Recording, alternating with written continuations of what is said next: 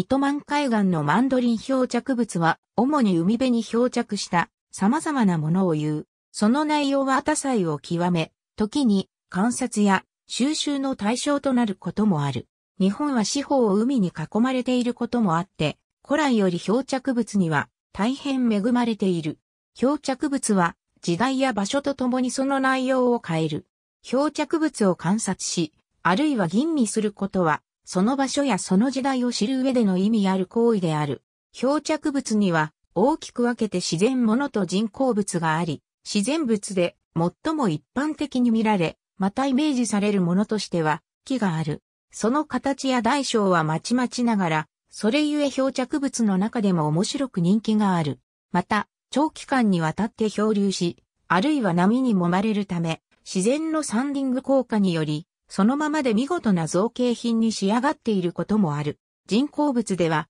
プラスティック、ビニール類が多く、ペットボトルが圧倒的に多い。また、日本海側の海岸では、朝鮮半島や中国からの漂着物が多く、太平洋側とは大きく異なっている。漂着物の例淡路港、伊崎の流木車古丹半島西の河原の南波線、京都府島影の漂流物部流木好み海藻海、魚人手動物の死骸骨産後、軽石死体南波線魚具、釣り具機関、ペットボトル発泡スチロール楽器注射器、干潮気等の医療廃棄物、下着廃油ボールラジオゾンで嫌い漂着物が人にインスピレーションを与え、作品として生まれた。最も有名な例では、民族学者である柳田国夫が1898年明治31年の夏にイラゴにしばらく滞在した際に偶然拾ったヤシの実の話を親友の島崎東村に語ったところ、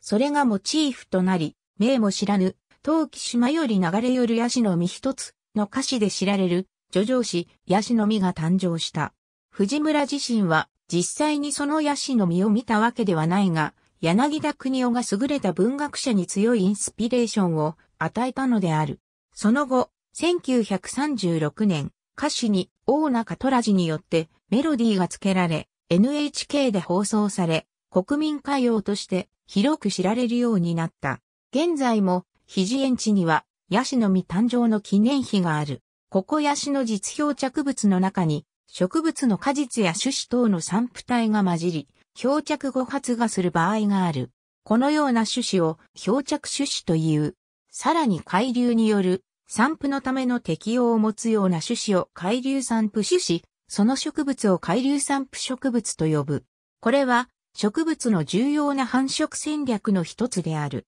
熱帯系の植物に多く上述の島崎東村のヤシの実に歌われたココヤシも、その代表的な例である。漂着種子は、種子を保護するため果肉や種皮が厚い、海水に浮くため、繊維層を持つなどの特徴を持つ。また、ヒルギ類等の耐性種子も漂着種子の例である。動物の場合も漂着から分布を拡大する例があると考えられ、海流による分散は動物の分布に大きな意味を持つ。漂着種子を作る植物やシカココヤシなど、サガリバナか五番の足、サガリバナ青ギリかサキシマスオノキマメか黒ヨナ、イソフジヒルギかオヒルギ、メヒルギハスのハギリかハスのハギリ、ありがとうございます。